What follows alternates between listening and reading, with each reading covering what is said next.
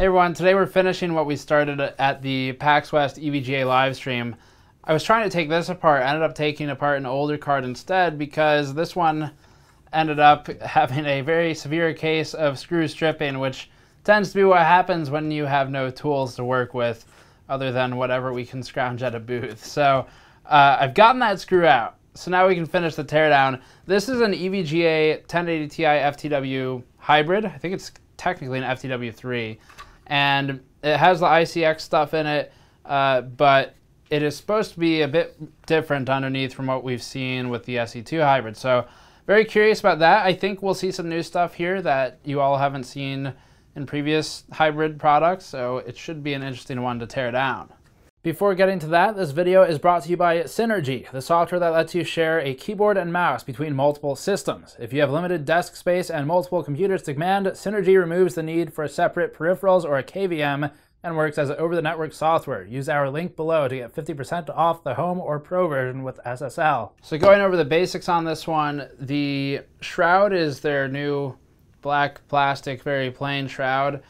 Uh, personally speaking, I, I don't really talk about visuals much on products, especially video cards, but I did prefer the one that felt more like a metal shroud. I don't know if it actually was, but the, the gray one that was very similar to the reference Founders Edition design, I thought that one looked a bit better, but not really an important aspect of a video card anyway, so no big deal. So let's take this apart. Same process as with all the others, except we've got one screw pre-removed, actually two or three pre-removed because there were problems. Uh, so we're gonna start with taking out the back plate and it's in two pieces. It's die cast. They are separated at the center uh, primarily because from a die casting standpoint, from what I've been told, it's just easier to manufacture that way. They've also told us that there might be some thermal benefit by having that divider down there. And I don't know how significant that is. It's probably, probably mostly uh, because it was easier to make this way. I think more so. The, the, the, thermal benefit may have just been something where they said, oh, this is, we can say this is a good reason to do this, but reality manufacturing is hard and die casting sometimes requires things like that for a large plate. So that's it for this first one. I think we're about to reveal the U, not one more under the sticker. We're about to reveal the usual million EVGA thermal pads, which is a pretty good response considering the complaints about ACX were not enough thermal pads. Uh, like I was, I was talking to them, them about this at PAX, and you know, it's better to be accused of spending too many pennies on something like a thermal pad, because ultimately it, is, it does come down to pennies, than be accused of not spending enough pennies. It sounds a whole lot worse if you're cheaping out on pennies than it does if you have to increase the price of the product a little bit to accommodate all the pads. Uh, this one does genuinely help. When we tested it with ACX, that was actually pretty big support. This one should as well. Uh, and then we've got an LED plate here with foam on it, probably for, well, I don't really, where does that even go? So the foam's over here. I don't know how much that helps. It might be like a vibration damping thing. That's probably what the intent is. But again, you know, you're talking about something like an FTW3 hybrid, looking at what it's priced, where it's positioned in the market. I think this one approaches 800. I haven't checked though. Talking about something like that, why would you why would you skip a piece of foam if you think it'll help? Uh, these screws, by the way, there are two different types of screws in the back plate. I've heard, I think through EVGA, that this might change in the future for the next design. They might be changing screws out, which would be nice because the two types of screws, I don't know how visible this is on camera, but if we put both of them over here, one's got a, a wider, a different thread count, fatter threads than the other. So uh, they do, it does actually matter where you put them back into the card. Some of them won't fit in other places. I think the ones with the fatter thread count go all the way through to the shroud and the base plate because uh, they screw into plastic, and then the ones with the thinner thread count go uh, into other elements on the other side of the PCB.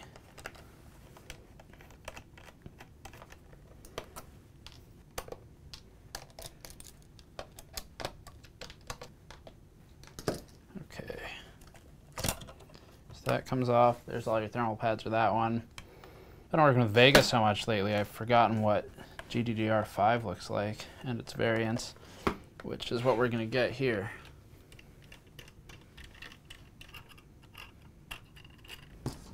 Okay.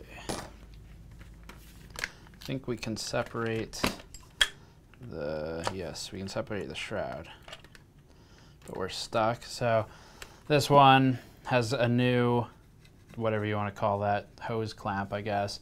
Previously this was rubber. You just pull it out and uh, this one is actually screwed in. All right, cool. So here we start getting into the interesting stuff. There we go, okay. Is that a white PCB? These are a little more expensive than most of the other colors just because they're less produced. And this is for the LEDs. So that cable's for the LEDs. I think this cable is for the, uh, one of these is for the GPM LEDs, which are right here. So those are responsive to the MCUs. There are two or three MCUs on this board, uh, and those are used for temperature monitoring, things like that. So those LEDs follow the MCU instructions. What next? Let's um, Let's get rid of this. Small thermal pad for what? Two FETs. Small pad for two FETs. Is this? Aluminum. And how about this thing? So uh, this plate is new, I think. I don't think I've seen that before. Um, this is what those four screws on the back center are screwing into now. Previously, Previously they had screwed straight into the plate.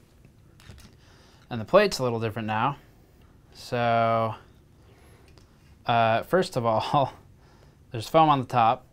That's to theoretically help with noise damping. EVGA's had some pump noise complaints in the past. That'll help some of it. Most of it would just be lowering the pump speed to like 90% PWM, which you can do if you plug it into a, a, an adapter and then plug that into your motherboard. So if you've ever had that problem, that's how you can fix it. But that's new. So, I mean, obviously it's covered up anyway. Kind of funny that they've still cut out the logo for their name, considering it's hidden under this.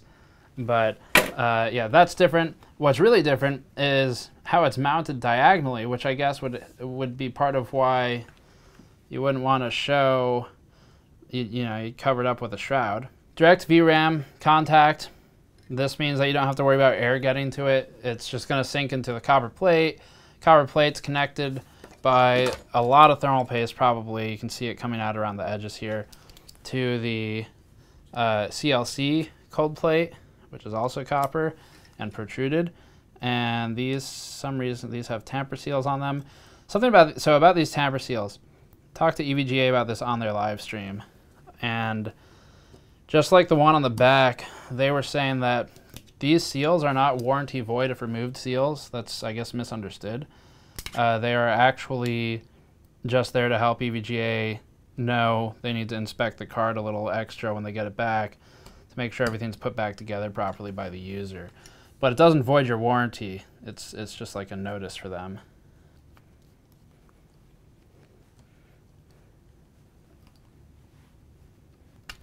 There you go. so that's what I was talking about. There's all the thermal paste that connects the VRAM plate to the GPU plate. This actually does help. And uh, the reason it helps is because you're sharing the liquid cooling solution with the VRAM. And you only really need the GPU to be so cool anyway. After, after that point, once you're in the 30 to 50 range, it's fine to share some of the cooling solution with the memory, which can make more use of it. Whereas, uh, I mean, yeah, there's there's no reason not to really. So that's the cooling plate. That's a little bit new. This elbow bracket at the end is new, and Uh, this thing's new. Let's pull off the VRM heatsink.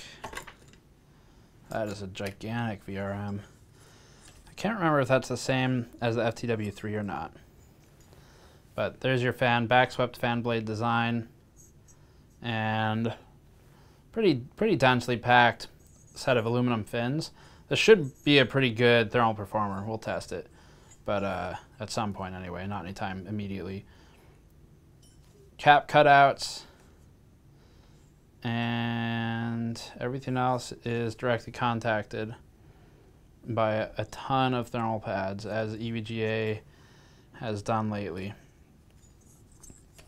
Somewhat of an overcompensation, yes, but again, given what they just went through the, in terms of controversy with AT, ACX, it's uh, it's probably better to do that kind of response to show that they did listen.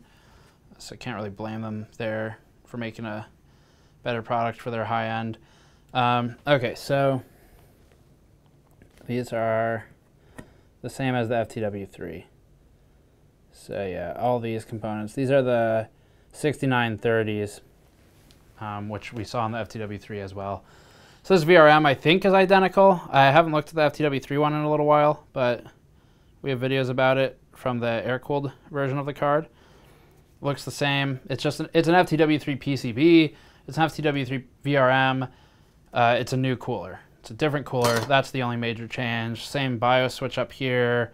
Same board layout. In fact, I think you could take an FTW3 air cooler and just mount it here and it would work. So uh, let me peel this off the table. So that's the FTW3, the hybrid one anyway. And uh, it, it's a good layout. I mean, we've seen, a, we've taken apart a lot of these now. I'm not sure how expensive is this one exactly. I know the previous ones were like nearing the $800 range. 850 850 Newegg, 850 Jet, 850, 850, 850, 850. $150 pretty much everywhere. So yeah, a little steep. You can get 1080 Tis cheaper than that, obviously. Uh, in terms of core performance, like what you get out of box, they're not going to be that different. The advantage of liquid cooled cards is generally that if you're willing to manually tune it, you, and, and you would want to remove the fan on the radiator, remove where it's plugged in and plug it into your motherboard instead.